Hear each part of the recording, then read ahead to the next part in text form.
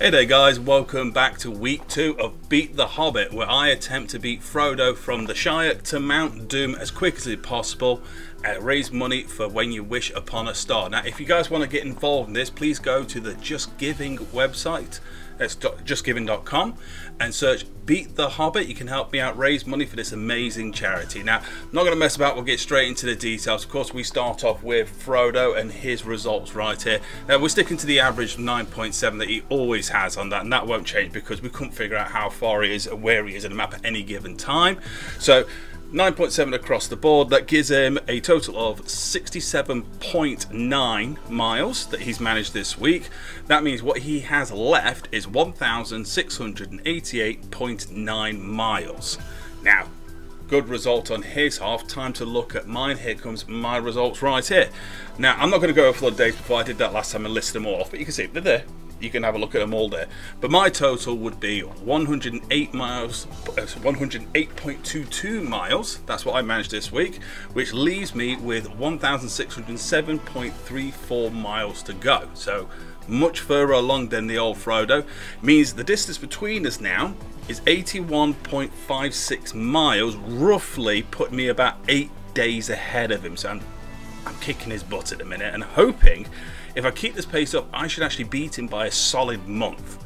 So I'm going to keep that up. But he currently would be in the challenge, still in the Shire area. I have now passed the Shire area and I've got my first medal here. So I get to have a good look at this one.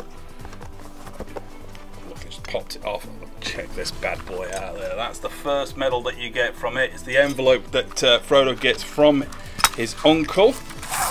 And what I, have noticed on this one, I saw in some of the videos, it's really cool. So that's that's the back of the medal. You get a good look at that just there. And the front, like that. That is sweet. And like I say, you can hear, that's solid metal. There's nothing to mess about with. A bit of a chip on the back. Oh no, that's glue, that's okay. But you check this out. You lift the envelope up, the ring is inside.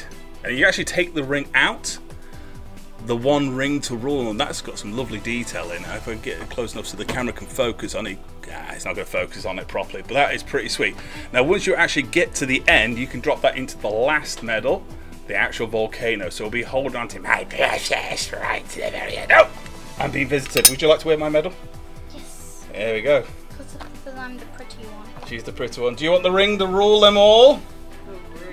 The one ring. Is this the way? To rule them all, yes. Is it meant to? So that's the first part of that done. The Shire is now completed. I'm going into the Fellowship. Oh, can I show in the camera there? Oh, oh, she's got the one ring. Awesome sauce. Where do you put it? It goes inside, right oh, here. Oh, inside here. We'll pop it back in.